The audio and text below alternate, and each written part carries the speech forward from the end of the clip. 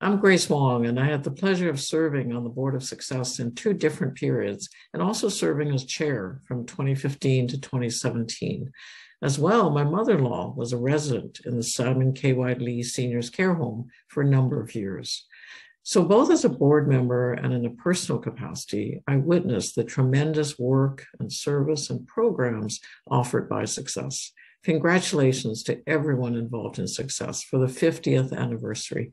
It is a wonderful milestone, and I know you will continue to serve our communities as you have done so well in the past 50 years.